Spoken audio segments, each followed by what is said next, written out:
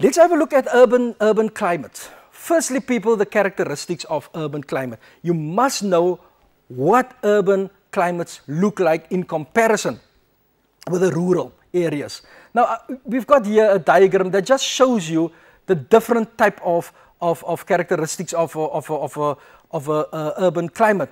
Um, we've got here, for instance, the gutters and the drains remove rain quickly, so less heat is used to evaporate water.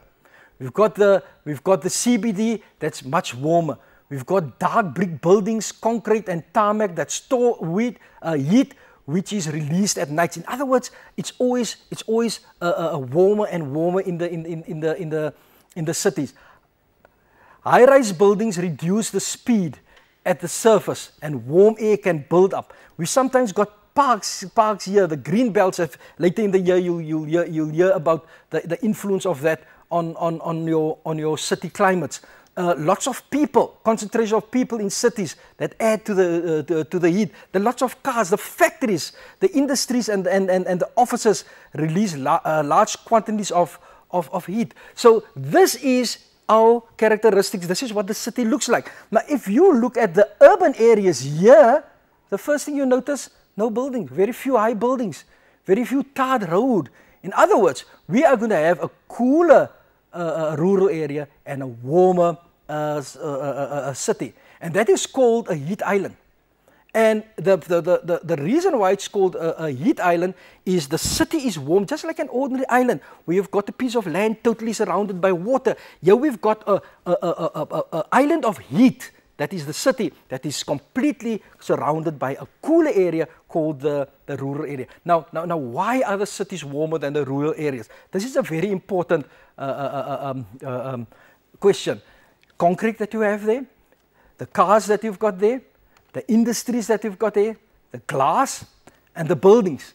Now, if you ever look at these, all, all, all these things that we've put on this diagram here contribute to the cities being much warmer than the surrounding areas.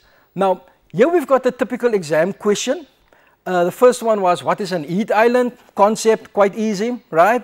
Piece of uh, uh, uh warm city surrounded by your cooler, cooler uh, uh, um, rural areas.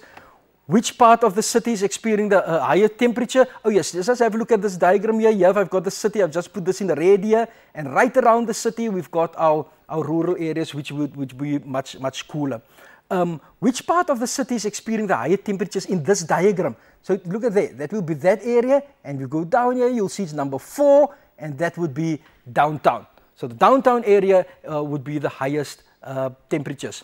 Um, how, do how have people's lives been changed because of, of, of, of, of heat islands? Now, that's a, that's a very interesting question. Um, people have to live with air conditioners in the cities, for, uh, for, for, for, for, for, for, for instance. They can get sick because of the, the change in temperature inside the building and the outside of, of the building. So, so people's lives have also been changed by heat islands.